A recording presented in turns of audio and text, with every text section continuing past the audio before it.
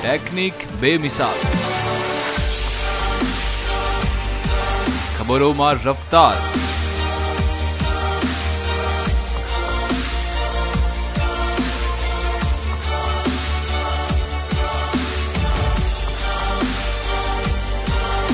અનુભવનો સાથ